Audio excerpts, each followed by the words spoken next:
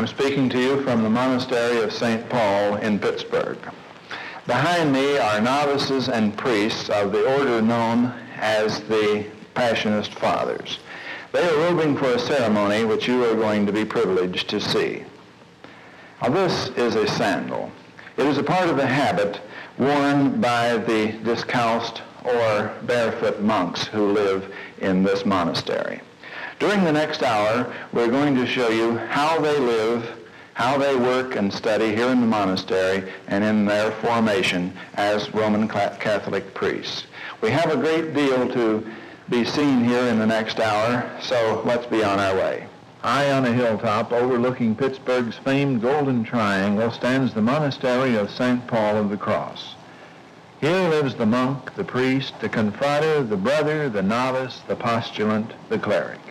Strange names outside these monastery walls, but all a part of the spirit and purpose of these religious men. They have turned their backs upon the material things of this world. They have renounced marriage, forsaken worldly possessions, and promised a life of complete obedience to their superiors in the congregation by choosing to live under the vows of poverty, chastity, and obedience. In their black habits and sandals, these cloistered men fervently seek their goal. What is that goal and why do they seek it? Why do they renounce the world and embrace an austere life of self-denial in a monastery? These are a few of the questions we will try to answer as we look into the life of one group of priests the Passionist Fathers. Passionist Fathers are widely known. This crucifix and platform at the sanctuary rail is distinctive of the missions that they conduct in churches throughout the world. It was the prime purpose of this order to preach the passion of Jesus and to serve as missionaries. I'd like for you to meet one of the priests of this order, Father Martin Joseph. Uh, Father Martin, uh, could you describe for us a little bit of the uh, garb that you are wearing here? Well, as you see, Ray, the habit of the Passionist is black, and it began when St. Paul of the Cross was inspired by Our Lady to wear a habit of mourning. This habit means that those who wear it will meditate on the passion of Christ, and those who preach it will announce this word. When you preach on this platform, you're dressed as you are now, I understand, except for the mantle. This. That's right. During the time of missions, we wear the mantle for the announcements, and then for the big sermon, we take the mantle off. Well, Father Martin, what prompted you to become a priest? Well, actually, the work of the priest gave me the inspiration. When did you decide to become a priest? Well, about two years after I graduated from high school. Uh, can you cite what specifically prompted you? Had you thought of it while you were in high school? Well, in a rather general way, I guess. I was thinking about it, but the decisive moment came when I had made a mission with the Passionist Fathers. A mission just as we are showing here, we haven't seen it, That's but right. uh, similar to what we've described here. Yes. Uh, you had, in deciding to become a priest, uh, considered other uh, fields of the priesthood? Uh, yes, I did. I was very much concerned about the diocesan clergy and also a few other of the orders. Mm-hmm. But it was the mission where uh, a passionist father, such as you now are, uh, preached a mission, and uh, this inspired you to, to come into this order. That's correct. And how long have you been a passionist priest? Well, I have been a priest for 14 years now and uh, your work has been as satisfying as you thought it would be originally? Yes, even more so. uh-huh. Well, thank you very much, uh, Father Martin Joseph.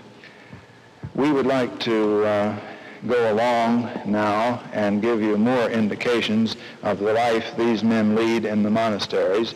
But aside from the garb, which is unique, another unique feature of the Passionist Fathers is this. Now this is a rattle, and it wakes them up at 2 o'clock in the morning like this.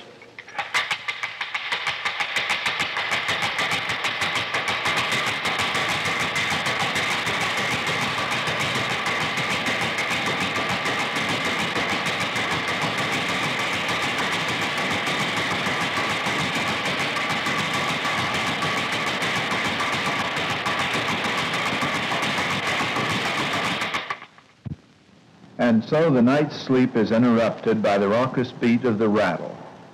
They are instructed after the words of St. Teresa to rise from the bed as if it were on fire.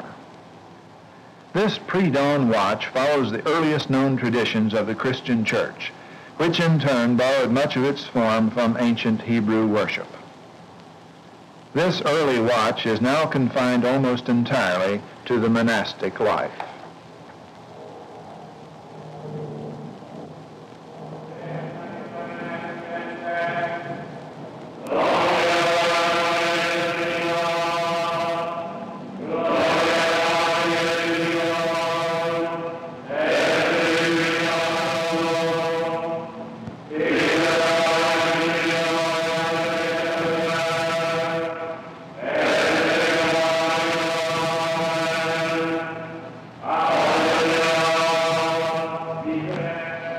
Back to bed at 3 a.m., but are up again at 6 o'clock and back in the monk's choir to chant the divine office of prime and tierce. At 6.30 they have Holy Communion and Mass. By 7.30 they're ready for a breakfast of coffee and bread. This they take standing. The words postulant, novice, confrater, brother, and cleric have been used, and it might be well at this point to define a few terms. The young men you see are aspiring to become priests and brothers of the order. The first step is that of postulant. He has not been invested in the habit of the order.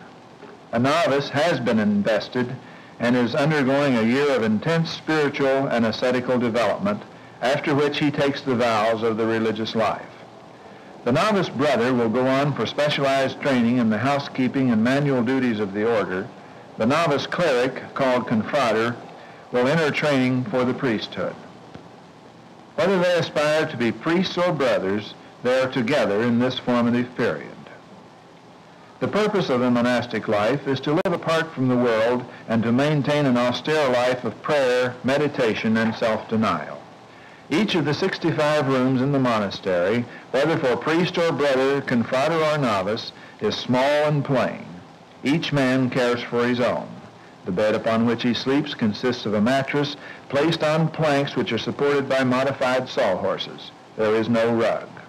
Otherwise, he has only a desk and a couple of chairs.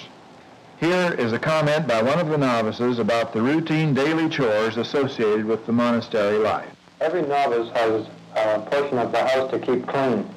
And besides the practical value of working and keeping the, the monastery as tidily as we can, there is a spiritual value which we place in all our menial tasks.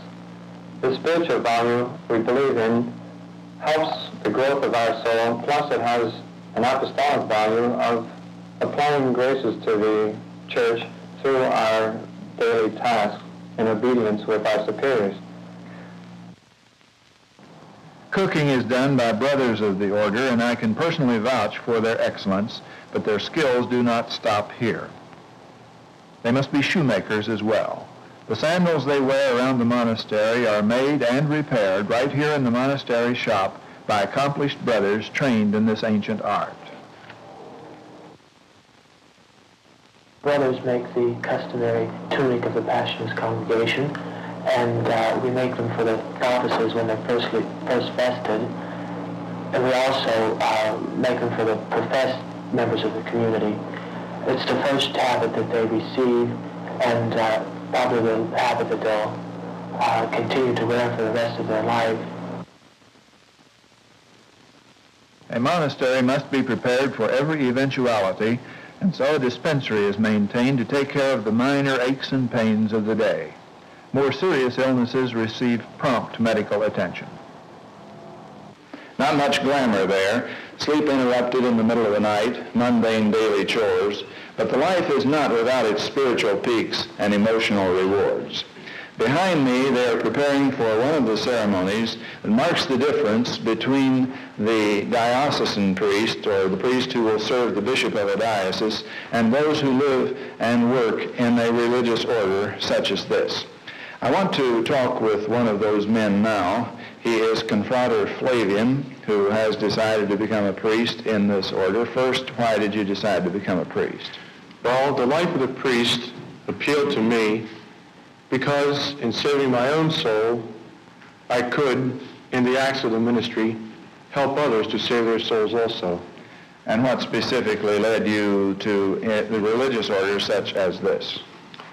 Well, the particular apostolate of the Passionists, preaching missions and retreats in parishes, seemed to me to be more appealing than regular pastoral duties. Mm-hmm. And also, it entails living in a monastery. And in the monastery, we are removed from the distractions of daily life in the world, you might say, and we are left more time to prepare ourselves and our sermons and preaching assignments we are sent out. Mm. And that is the combination of the contemplative uh, life that we have referred to and the active life. Oh, yes, uh-huh. The, Primarily you're going to be a minister, a preacher of the Passion. That's right. Uh-huh. Mm-hmm. And uh, you have a long way to go from here now. Oh, quite a few years. When we, leave, when we are professed this coming August, we will leave here and go to Hartford, Connecticut to begin seven years of specialized study for the priesthood. What led you into the religious life specifically? There are different things that you could have done. What prompted you in the first place? Well, I wanted to be a priest.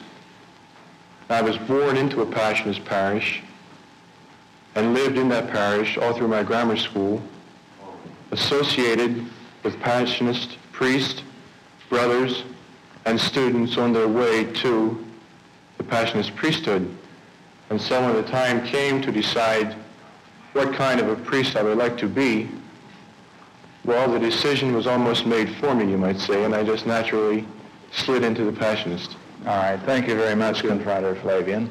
The postulants or candidates for membership in the order founded by St. Paul of the Cross are about to be invested with the habit of the order. Now this is a crown of thorns, familiarly associated with the crucifixion of our Lord. Because of their concern for the passion of Jesus, this crown of thorns plays a prominent role in the investing ceremonies. And so before the crucifix, which is the emblem of the congregation, those who are to be invested with the habit of St. Paul of the Cross proceed in traditional splendor to the sanctuary where, before God and in the presence of friends and relatives, they ceremoniously withdraw from the world and embrace the religious life. Novices robed in white form the choir for the ceremonies of this important day.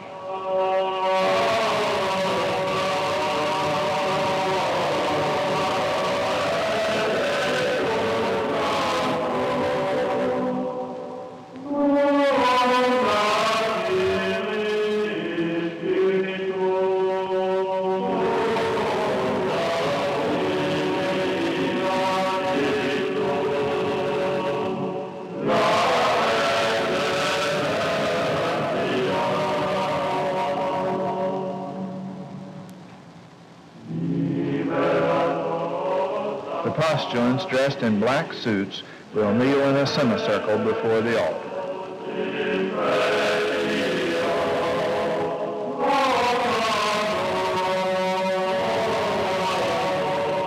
The priest who is to be celebrant, vested in alb, stole, and cope, proceeds with his assistants to the altar where he says the opening prayers.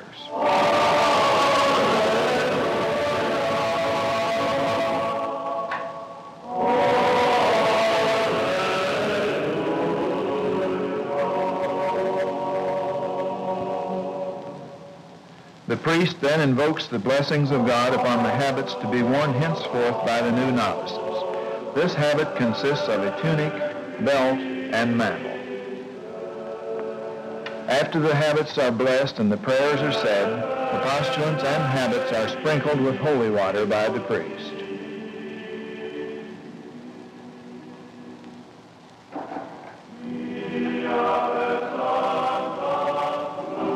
This point in the ceremony, the celebrant leaves his position at the altar and together with his assistants takes a seat at the side of the sanctuary. It is time for the sermon. The priest who is to deliver the sermon goes to the altar. His words will, be, will explain how, symbolically, they are putting off their former selves and putting on a new self. but that this transformation cannot be done in a single instant, nor overnight, nor in a period of years, but will require constant endeavor to set aside whatever may be low, base, or imperfect in their personality and build up the perfect man who resides potentially in each of them. The time has come for the postulants to put aside their secular clothes and don the habit of the order. As the priest intones, May the Lord divest you of the old man and his deeds, that you may put on the Jesus Christ crucified, he removes the postulant's jacket and tie. Thus he is divested of his clothing that he may wear the black tunic. While putting on the habit, the priest says, May the Lord vest you with this somber tunic of penance, so you may constantly look upon Jesus and weep over him as one is wont to weep over the death of the firstborn. With the belt, he says, May the Lord bind you with the cincture of charity and justice, that standing faithfully by the cross, you may be inseparably joined to him in the bond of divine love. He continues, O Lord, grant that your servant may wear this mantle in such a manner that, being sustained by continual meditation on the passion, he may practice the mortification of the flesh. Accept this cross in the memory of our Lord. Deny yourself under the mighty hand of God that you may dwell with him for everlasting life.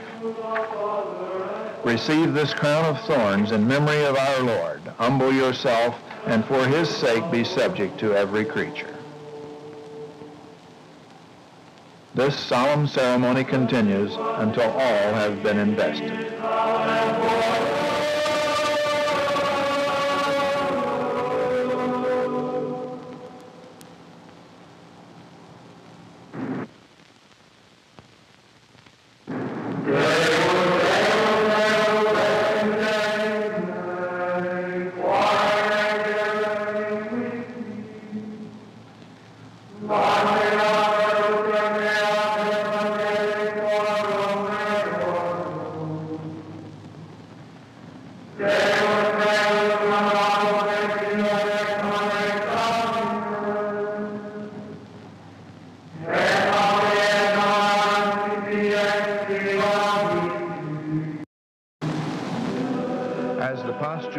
Approaches the altar, the priest takes the cross from his shoulder and gives him a lighted candle, saying, Accept the light of Christ, that being dead to the world, you may live for Christ.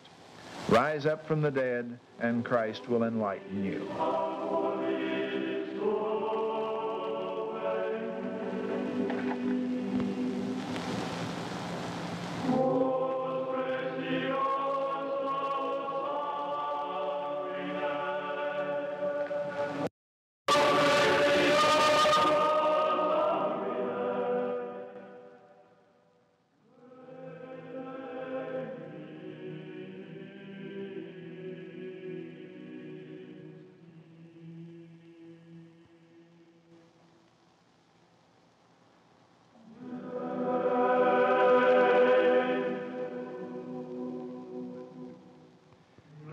Novices now, and being newly invested, they are given the kiss of peace by all.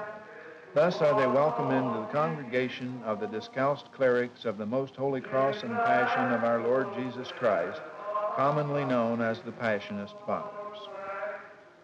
As religious orders go, this one is young and vigorous. It was organized in Italy in 1720 by Paul Francis Danei. As a boy, he regularly arose in the middle of the night to pray. One day, while meditating, he saw a vision of Mary, the mother of Jesus. She was clothed as the Passionists are now clothed, and she called upon young Paul to form a congregation which would continually mourn for the passion and death of her son. Paul Francis Danei later became St. Paul of the Cross.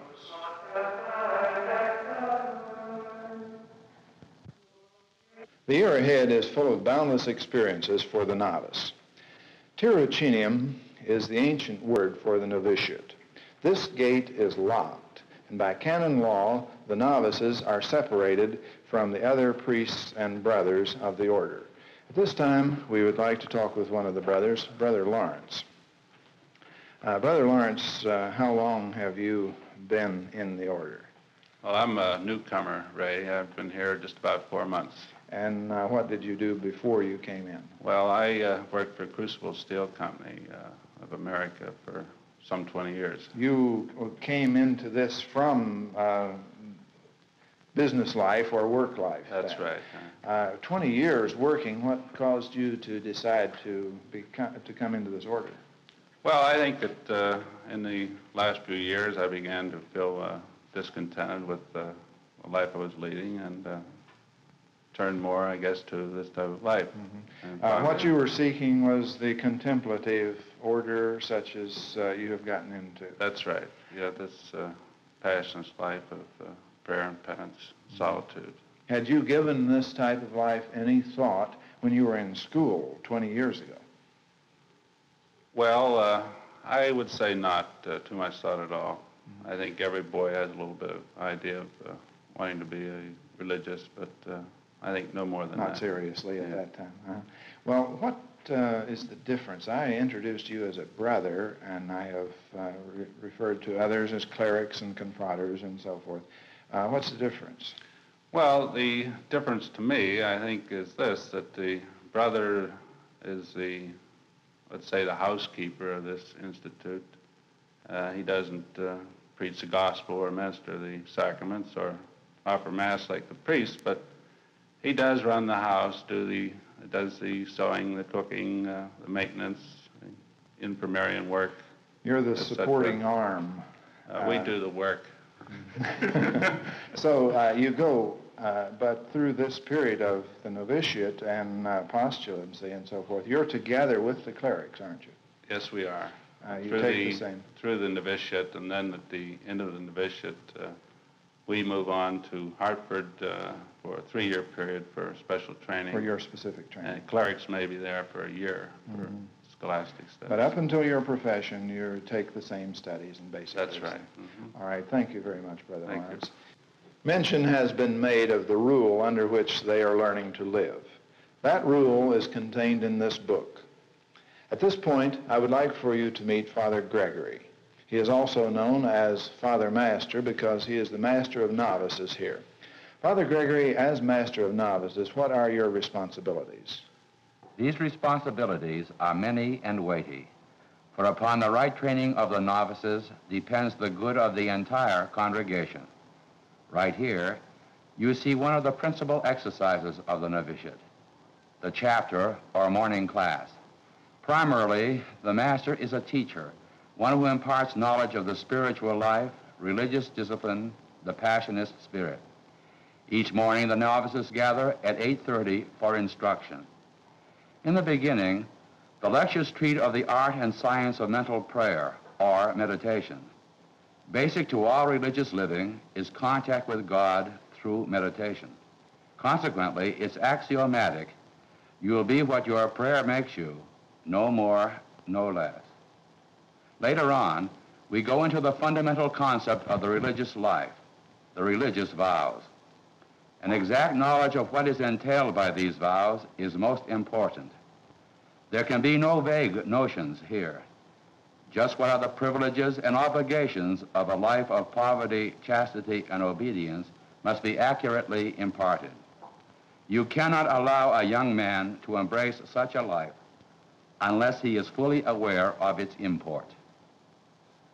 Besides the three vows common to all religious orders, our novices must be instructed in the special fourth vow, which we Passionists profess, to promote devotion to the sacred passion of our Lord. The novices must be instructed as to the responsibilities involved in and the ways and means provided for the fulfillment of this sacred promise. Finally, we come to commentary on the rule of the Passionist congregation.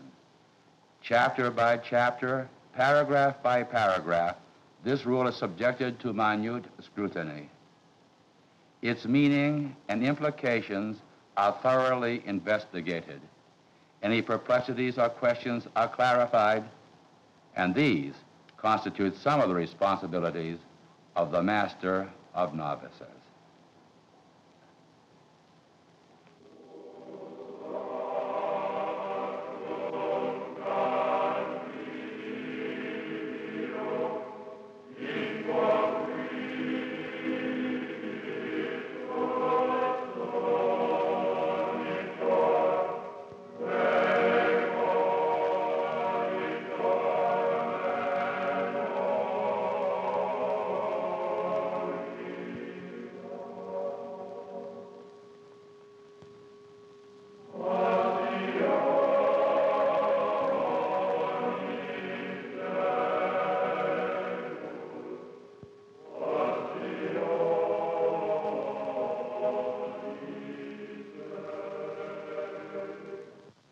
But the novitiate is not merely a time for gaining theoretical knowledge.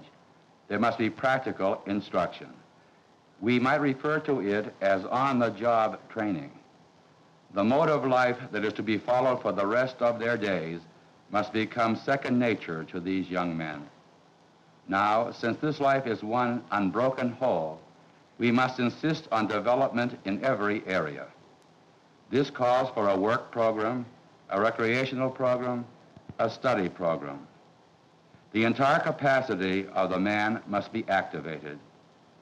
You have just heard the novices in quiet rehearsal. Singing and chanting the praises of God is a prime monastic exercise. There are no servants in the monastery. The novice must learn to work with his hands. He must take care of his room, his clothing, his personal effects, as well as do the public offices of the monastery. He exerts his skill in making the signs or badges which after profession he will wear upon his tunic and mantle. The novices are taught to appreciate the old monastic axiom, to work is to pray. The training of the entire man entails recreation, both physical and mental. In subsequent portions of this presentation, you will see the novices at play. This, too, is an integral part of their practical novitiate training. The spiritual and mental training is rounded out by classwork with both master and assistant master. Doctrine classes, plus music, Latin, scripture, and above all, lectures on ascetical and mystical theology keep the mental faculties keen and alert. But dominating all as the chief function of the noviceship stands the actual practice of the monastic life itself by prayer, meditation, and devotions, such as you observe here. Here in the chapel, for each one personally, is realized the fruition of all our teaching, all our training. And in turn, from here as from a dynamo, proceeds the strength and power to live out the resolutions begotten of meditation in day-to-day life. Difficulties, trials, tribulations oft times receive their solution at prayer here in the chapel. Prayer is the atmosphere of the novice's whole life. This is the novitiate, the basic training ground of the religious priestly life. From this review, you may gather some idea of what are the duties and the responsibilities of the Master of Novices. Maria, con la del Espíritu Santo,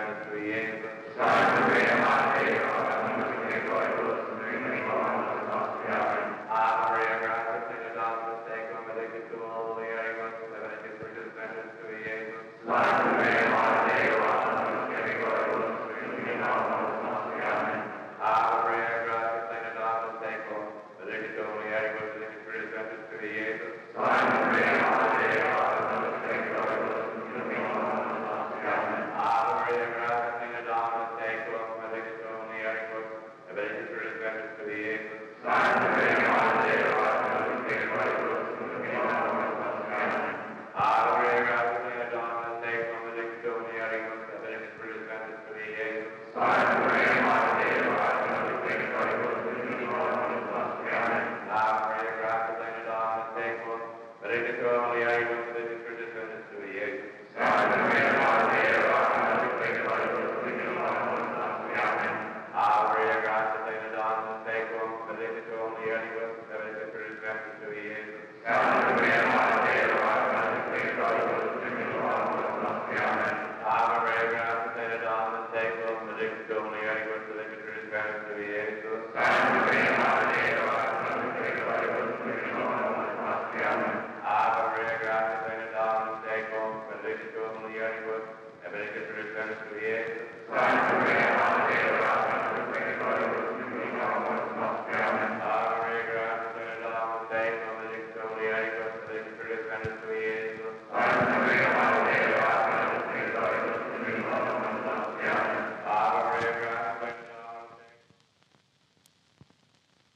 pointed out that this is both an active and a contemplative order. This combination makes the order attractive to many. I have stationed myself here in the chapel where they come to meditate, to chant the divine office, or otherwise uh, observe the contemplative side of the life. And I want to talk with one of the novices at this time. I want to talk with uh, Confrater Anthony. Uh, Anthony, uh, how important is the contemplative side of the life as we have pointed it out? Well, I think we could easily say that it's absolutely essential, at least for a monk, because in order to live under this rigorous discipline that we have here, it's necessary to have the time to keep our thoughts on God and see the end for the reason for our practices. Mm-hmm. And uh, this helps you, as you say, keep your objectives in mind and your goals. Now, when did you or why did you decide to become a priest? Well, about the end of high school, I realized I had to take a definite step. And uh, in doing so, I, I entered the uh, diocesan seminary in Philadelphia, where I lived. But once there, I found that uh, my particular need was uh, for a monastic ideal that was a channel for whatever talents that I have. Mm-hmm. And so you came here. Definitely. And uh, you are a novice. Uh, how are you finding the contemplative life? Well, I'd be very adolescent and just say I love it. uh, how long have you been a novice? Well, I came here on July the 18th, and uh, it's been about six months now. And you have another six months to go. You're going to stick it out, I can tell. Oh, wow. Thank you for your confidence. well, uh, and then as you uh, think back on this, uh, is there any specific uh, time that you decide, well, I'm going to be a priest? Did you say, I'm going to be? And when well, did you take that action? Well, I think uh, it was a novena to St. Francis Xavier that did it for me. And that was when I was in sixth grade. Mm-hmm. But as I said, I didn't have the courage to take the definite step until after high school. Mm-hmm. All right. Thank you very much, Anthony, for uh, your talk. Uh, this is just exactly what it looks like. It's a ball. Now, if this ball seems out of place here uh, in this atmosphere, it only goes to prove that in a monastery there is a time and a place for everything. Uh, not only worship, but for study and for meditation. And so, in that proper balance is play, recreation. Because recreation is as much a part of the life and routine as any other activity we have mentioned, the spirit and purpose of the community is maintained as these religious men, dressed in appropriate clothing, kneel together in prayer before going to the recreation area for sports and vigorous exercise. Obviously, this is no life for sissies. They charge about with as much vigor and enthusiasm as if their day had not started at 6 a.m. after a night of interrupted sleep. Looking upon this abundance of health, energy, and purpose, one is prompted to ask the question, what manner of men are these? The answer is different for each man. Some decided to enter the religious life when they were in the eighth grade, so they entered minor seminary for high school and two years of college before coming here as a novice. Others made their decision after they were out in the world pursuing an occupation. As can be seen by now, we lead here in the monastery a community life, which entails getting along with each other, working with each other. This is going to be our life until the end of life. And in order to uh, facilitate this um, getting along with each other, this appreciating the faults and the defects, but at the same time, the high points of another person's personality, there's recreation. This is one of the main parts of the life in which you do get to know the other person and to work with him, enjoy yourself with him. You play basketball, baseball, sit around and talk. There's all sorts of activity, winter and summer, and you get to know each other, and hence you do end up with the community life. Here in the refectory, noon and evening meals are taken.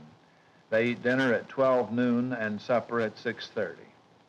The food is plain and nutritious. Since fasting is a part of the monastic way of life, they do without meat three days a week. They eat together as a community, each at his assigned place. The priests who are home from the missions or whose duties keep them at the monastery are seated on one side of the refectory, the novices and brothers on the other. They eat in silence. At one end of the room, a novice reads aloud from an approved book or magazine. The subject is one judged to be of benefit to the group.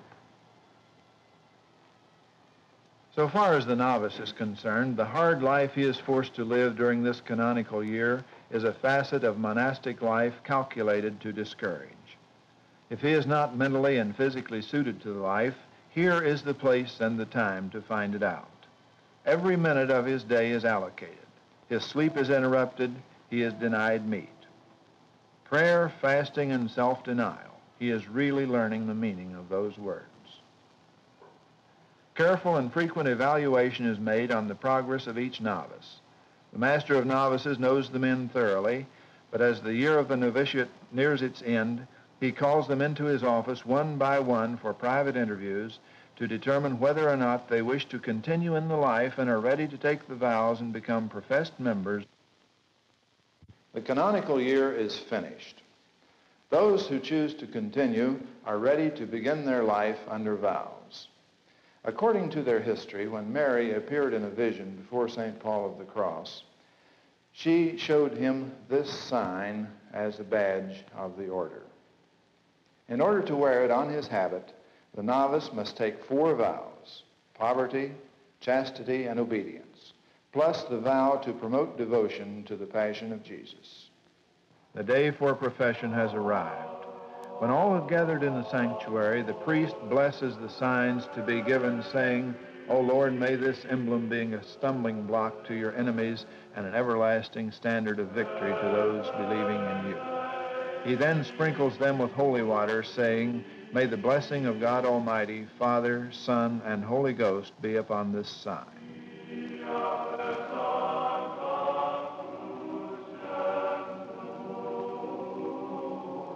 Each novice in turn kneels before the priest and is questioned concerning his serious intention of making a religious profession. Each is asked if he makes his decision freely. Each is questioned on his knowledge of the rules.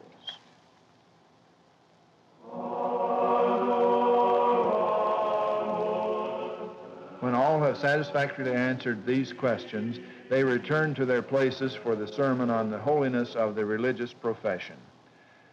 When the sermon is completed, the officiating priest returns to the altar with his attendants. As the ceremony continues, the novices prostrate themselves upon the floor as a sign of penance and self-mortification. They remain prostrate upon the floor while another priest reads the Passion according to St. John the Evangelist. This reading of the Gospel begins with Judas' betrayal of Jesus, tells how he was arrested and brought to trial before Pontius Pilate, how he suffered humiliation and was crucified on a hilltop between two thieves. The reading concludes with the words, He gave up the Spirit, and the novices rise to be professed. Going forward once more, each novice in turn kneels before the priest and placing his hands into the hands of the priest pronounces his profession.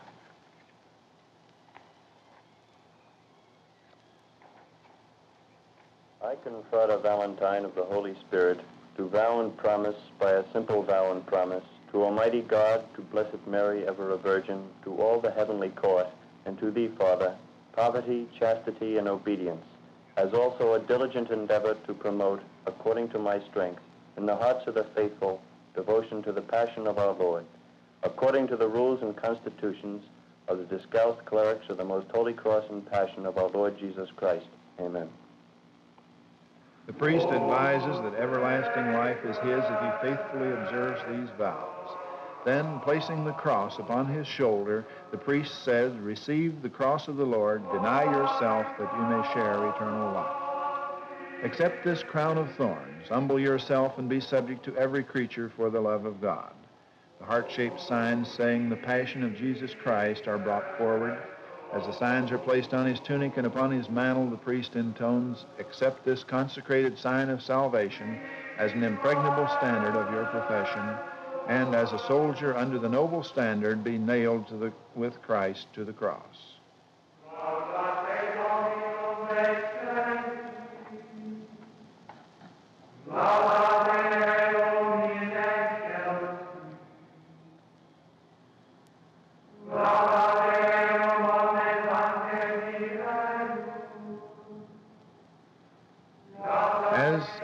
A colorful and impressive conclusion to the solemn ceremony, the newly professed, together with other members of the community, form a stately procession around the church and back to the sanctuary.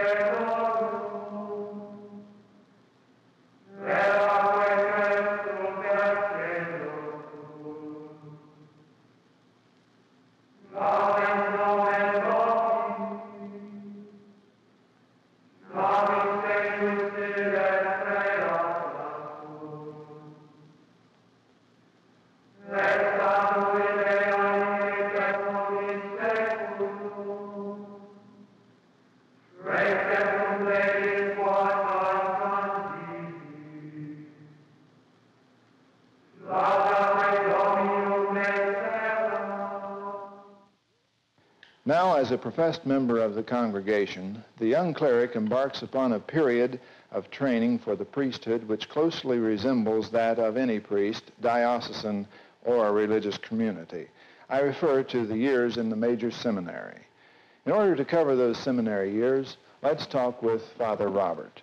Where does he go from here now that he is a professed member of the community? Well, Ray, he goes from here to our houses of study. There he pursues the ordinary course of philosophy and theology. However, there's this distinction. Many religious orders and seminaries demand a third year of philosophy rather than two. And in the third philosophy, we put heavy emphasis on the study of modern philosophy and sociology, which is so important in our times. This is very much the same as a college would be under ordinary circumstances. Yes, with the exception of the emphasis on philosophy, which is not generally taken in most colleges these days, with emphasis on practical and mm-hmm. subjects and technocracy. Now, under the heading of philosophy, there are many different courses. Oh, yes, there's logic and metaphysics and psychology and ethics and natural theology. Mm-hmm. And likewise, in theology, there are a great many different subjects. There are two major departments. There's dogma and morals. Then, of course, in those last four years, they study Scripture for four years, canon law for three, Hebrew, uh, ascetical and mystical theology, and pastoral theology. And all of this leads, uh, aside from other factors, uh, they get a degree out of this, do they? At the end of the third year of philosophy, by power of the, granted to us through the Regents of New York, we give a Bachelor of Arts degree. And then this is fully accredited in the academic sense. Oh, yes, certainly. You're, you're indicating there. Can I digress from these years that we're talking about for a moment to ask about your own uh, uh, profession and so forth? What led you into the priesthood? Well, I don't know. It was the grace of God and probably the interest in uh, monasteries and the personal contact I had with some seminarians and some Passionist students. And uh, on this seminary years, you took just the things that we have been talking about. Oh, yes, but some expansion since my time. In my course, were only two years philosophy. Mhm. But as time goes on, the courses are being extended. More and more knowledge necessary Oh, yes, in as this. time goes on. Well, all of this training and these years uh, lead us then to the ordination, to his ordination as a priest. Is that right? Well, the seven years from the date of profession lead up by way of spiritual and intellectual training to the great moment towards which he aspired all the time when he might ascend the altar and take in his hands the chalice and the host and offer them to God in the holy sacrifice of the Mass. The great day of his life is at hand. Today he becomes a priest. As a Passionist, he is likely to have spent 14 years preparing for this day.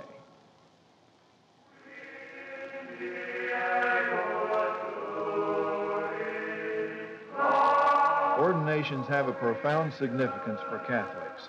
And so, with all the magnificence and splendor of this ancient rite, the young cleric realizes the words of the New Testament as he is taken from among men, is ordained for men in the things that appertain to God, that he may offer up gifts and sacrifices for sins.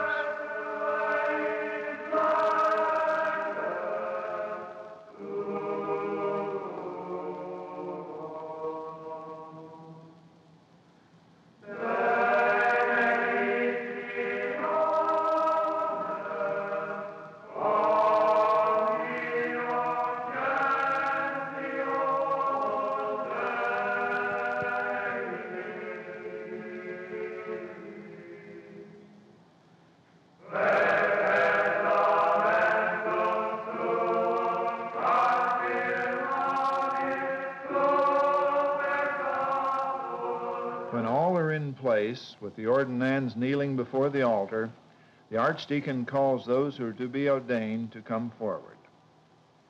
This is when the mandate is read. The mandate is a solemn warning to withdraw if they know themselves to be excluded by the law of the church. The mandate impresses upon the candidates the supreme importance and far-reaching consequences of the ordination.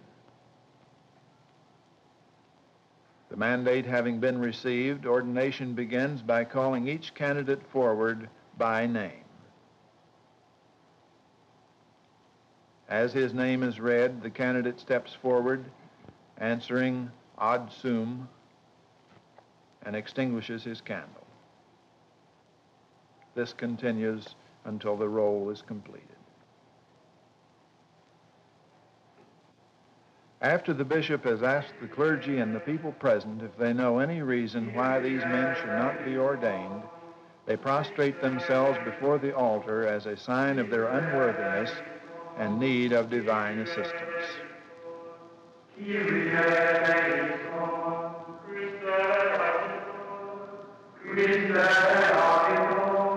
The choir chants the litany of the saints, which calls upon them to intercede with God that he may give worthy ministers to the church.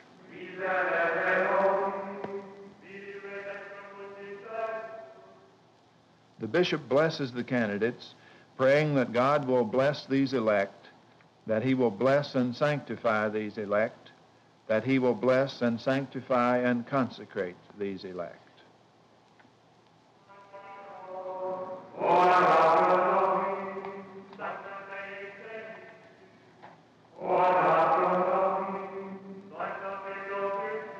In the holy atmosphere created by the prayers and admonitions of the faithful, the prostration continues in company with the litany of the saints.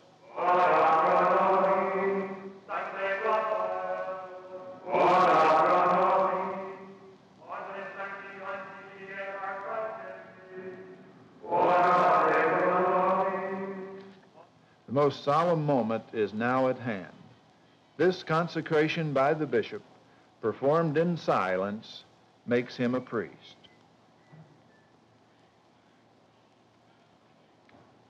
This silent ceremony continues as all priests present impose hands on the newly ordained. All is hushed in silence. I kneel in utter silence as the grace of God descends to consecrate me to the holy priesthood. Human words are pow- powerless at such moments, and silent I remain. I cannot tell in words of my unworthiness.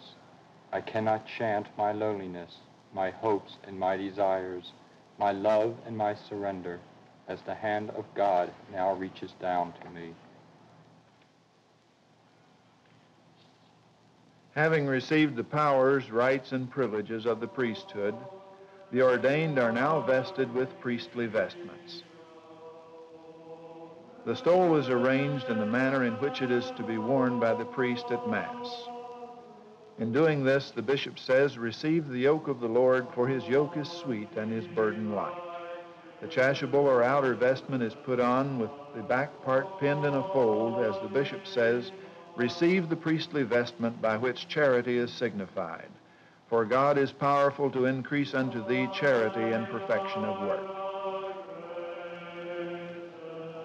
All receive their vestments in like manner.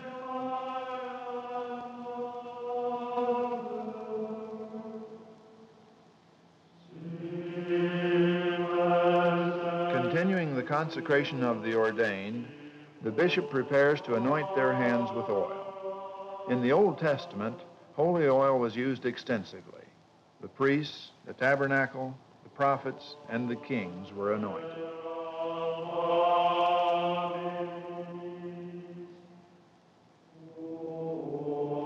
As he anoints, the bishop says, Deign, O Lord, to consecrate and sanctify these hands by this unction and our blessing. That whatsoever they shall bless may be blessed, and whatsoever they shall consecrate be consecrated and sanctified in the name of our Lord Jesus Christ. Anointing symbolizes dedication to the service of God and the bestowal of grace. The anointed, keeping his hands together, goes to the side of the altar.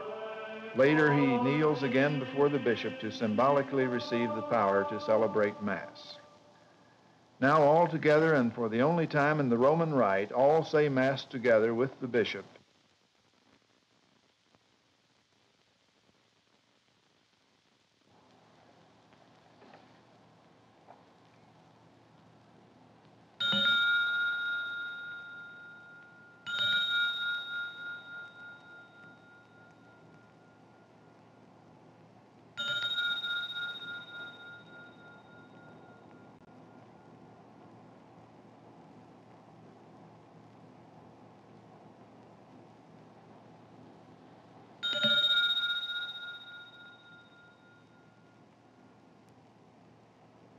Because they say Mass together, this ordination Mass is in reality their first Mass. As the Mass proceeds, they individually approach the altar and kiss it. Then they receive the kiss of peace from the bishop.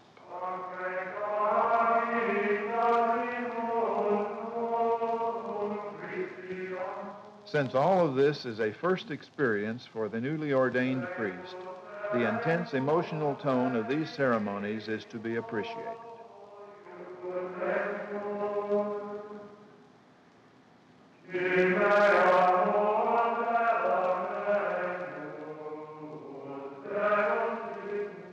Finished their first Mass, they recite the Apostles' Creed as a public profession of faith and then kneel to symbolically receive the power to forgive sins with the words, Whose sins thou shalt forgive, they are forgiven. Whose sins thou shalt retain, they are retained. The back of the chasuble is then unfolded with the words, May the Lord clothe thee with the robe of innocence.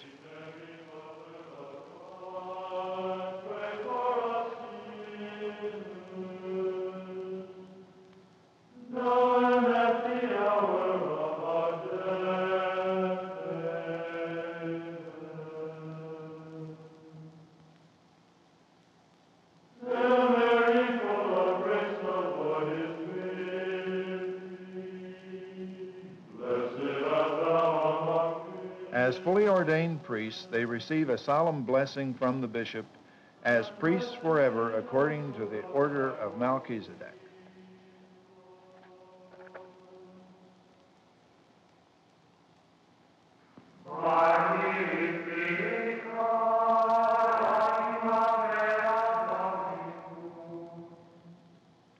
And so the ordination ceremony is concluded in the same magnificence and splendor with which it began.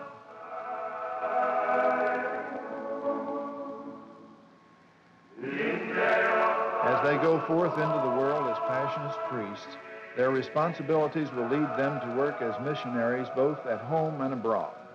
They will conduct retreats for laymen, serve as chaplains in the armed forces, or participate in publication of their national magazine, The Sign. These and many other priestly duties will be theirs in the years ahead.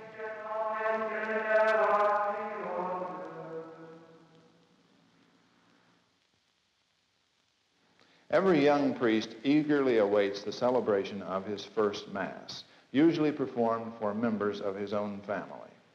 Daily Mass will become a part of his very being, but this first low Mass is of great importance. Oh, bless the Lord again and again, who this day bestowed upon me the privilege of having a priest for a son. When he was born, I was filled with joy. I could scarcely believe the little child was mine to care for.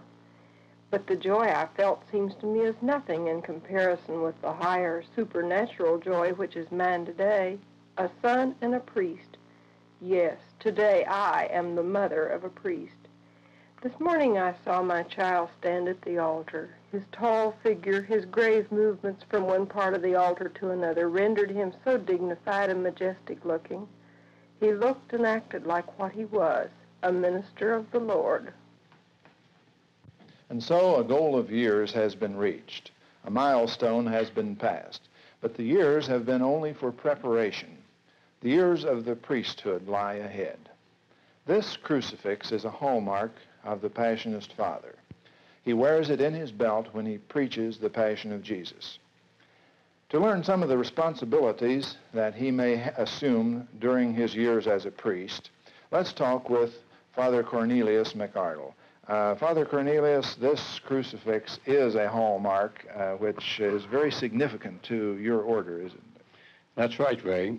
This crucifix is given to us at the time of our profession, and it is worn by us in all of our ministerial activities of preaching. The great goal of a Passionist is to be a preacher of the Passion. That is the purpose behind all of his years of training, his years of contemplative living. And so the ultimate ambition of almost every Passionist is that he be a missionary. The great ambition of the ordinary Passionist is to be a preacher of missions and retreats to the laity and the clergy. You mentioned being a missionary. Uh, you mean to foreign lands as well as home? Yes, we do mission work in both foreign and, and domestically. For example, we have had for many years missions in China, which were closed out by the communist domination of that country. And we have since then taken over mission fields in the Philippine Islands and in the West Indies. We also do missionary work among the colored in our own Southland. What about uh, continued study?